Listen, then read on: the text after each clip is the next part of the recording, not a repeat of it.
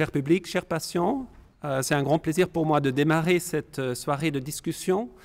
Euh, on a la grande chance d'avoir deux cardiologues, un cardiochirurgien et un neurologue, et vous allez entendre les exposer par la suite. Moi, je m'appelle Georg Keret, je suis médecin agrégé au service de cardiologie et je fais surtout la cardiologie préventive et même durant cette période de crise, la prévention cardiovasculaire reste quelque chose de très important et c'est de ça que je voulais vous euh, parler au cours des prochaines dix minutes.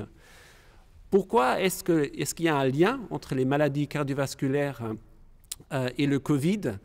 Euh, Moi, je pense qu'il y a deux points principaux. La première étant que le Covid mobilise des ressources, comme vous avez entendu, qui sont habituellement utilisées pour protéger et traiter votre cœur et vos vaisseaux, euh, votre cerveau euh, également.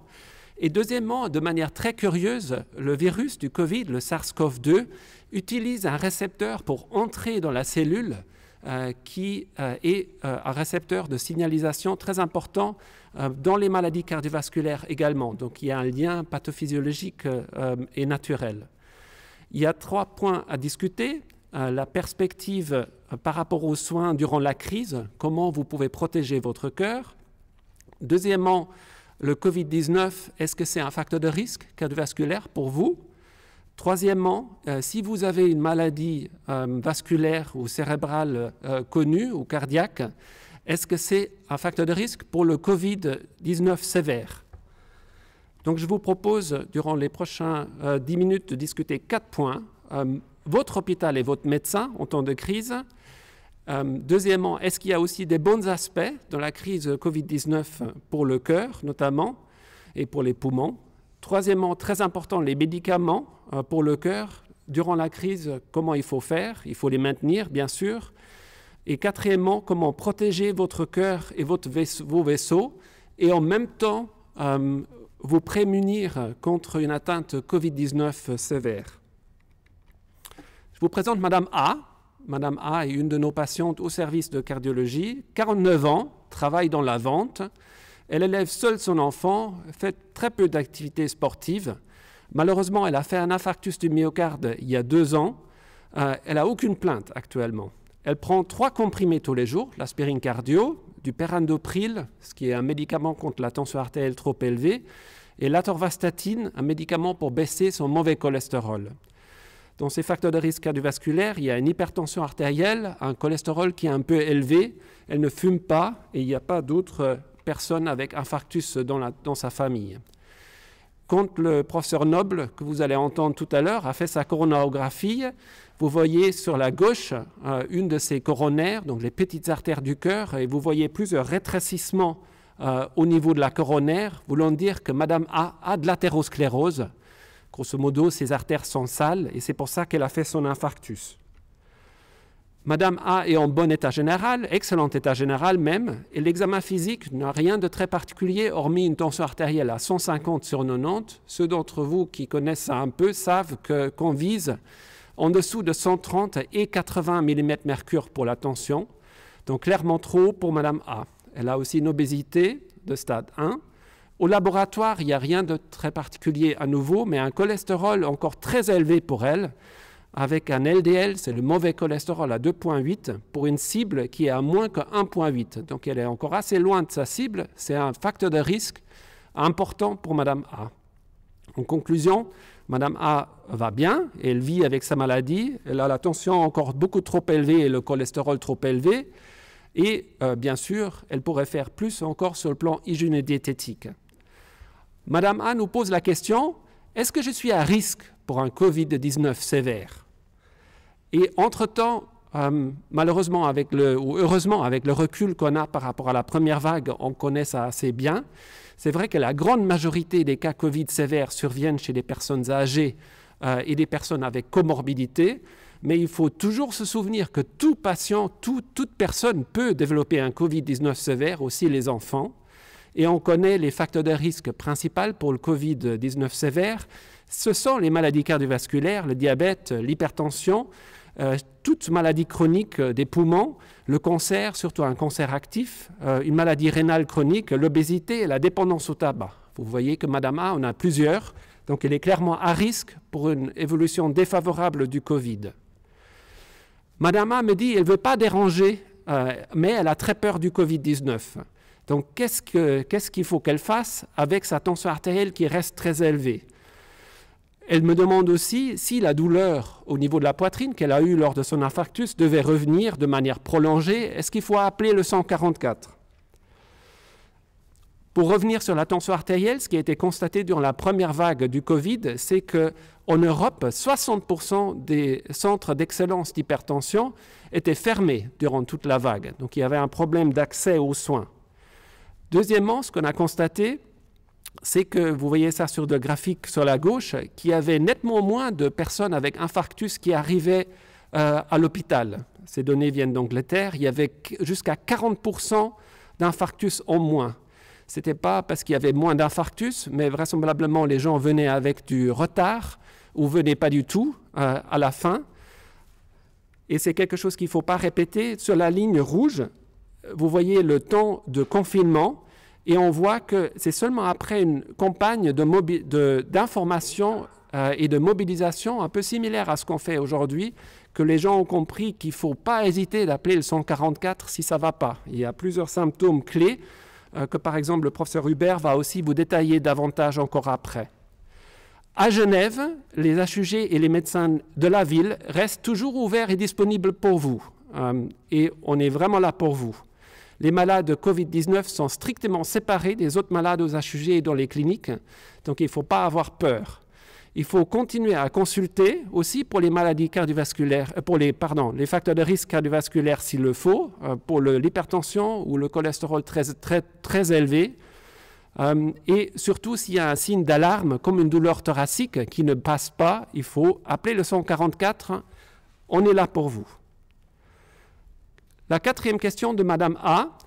Est-ce que la crise Covid-19 a aussi des bons effets sur mon cœur? Elle habite à côté d'une rue euh, et elle entendait nettement moins de bruit durant le confinement. Certains d'entre vous ont aussi fait cette expérience.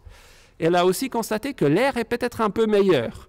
Tous les deux sont vrais. Sur la gauche, vous voyez que la circulation dans les rues, c'est des données des États-Unis, mais ici euh, en Europe c'est semblable, avait, durant le confinement que vous voyez en trait noir, fortement baissé et aussi la qualité de l'air mesurée comme particules euh, fines euh, dans l'air euh, était nettement plus pure durant la période de confinement. Ce que je trouve particulièrement intéressant, c'est ce graphique qui est un peu difficile à comprendre, mais sur l'axe X, vous avez le temps entre novembre 2019 et aujourd'hui. Sur l'axe Y, le bruit sismique à haute fréquence. c'est des sondes qui sont très profondément sous la Terre, qui enregistrent l'activité euh, de, vibration, de quelque sorte, qui est faite par l'homme. Et vous voyez ces, variations très importantes dans cette activité sismique qui correspondent aux semaines. Durant le week-end, il y a nettement moins de bruit sismique décelable sous la Terre. Et en temps normal, on est à ce niveau ici que vous voyez. Durant le confinement qui est intervenu dans cette région-là, ben, on a baissé la moyenne même en, dessous de l'activité durant le week-end. Donc on peut voir ce qu'on fait à notre Terre, toute l'activité humaine laisse beaucoup de traces.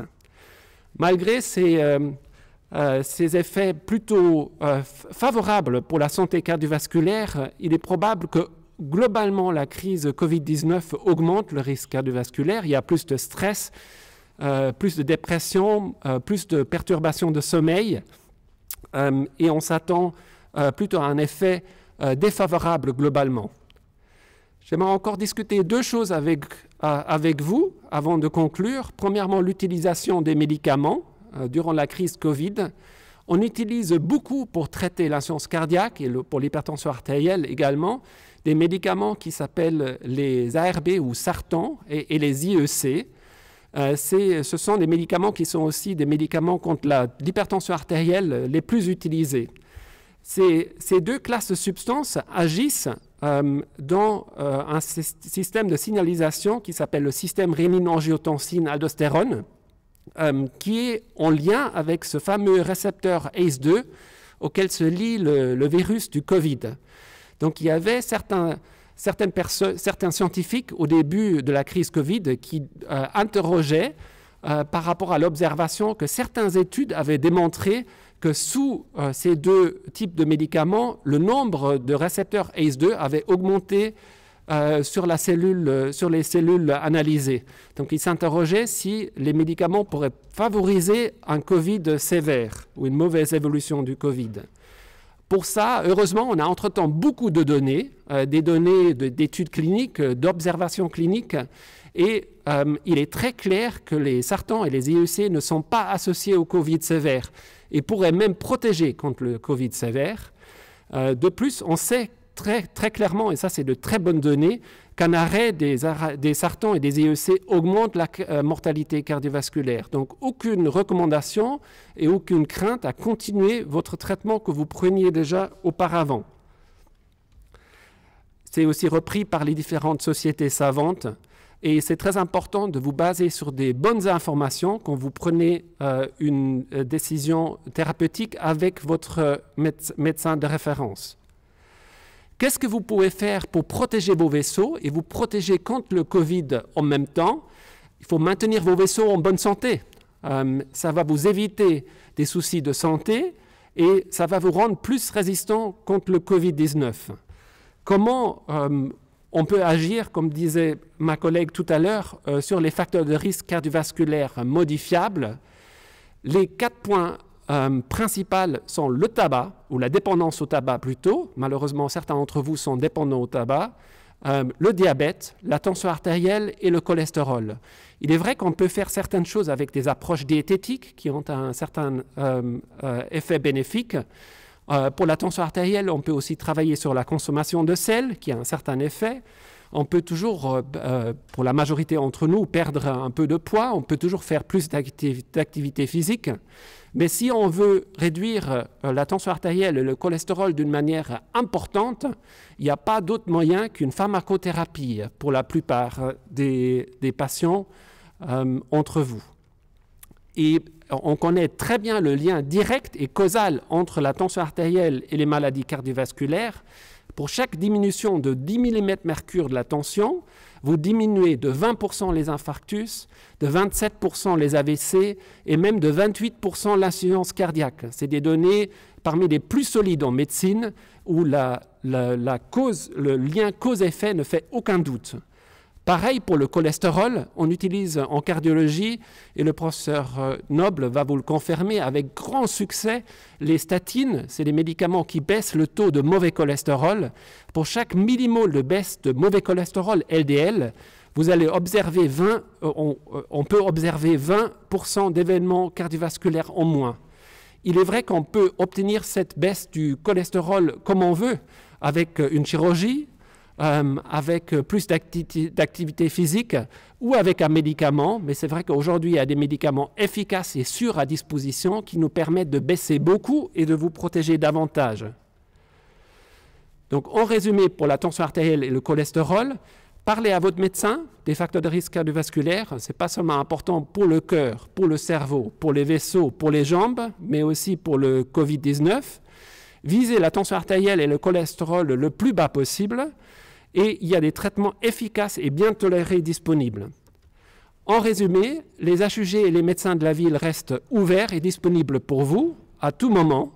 Maintenez votre santé cardiovasculaire, n'arrêtez pas votre traitement durant la crise et ayez une exigence particulière par rapport à la dépendance au tabac, par rapport à la tension artérielle, au cholestérol et au diabète.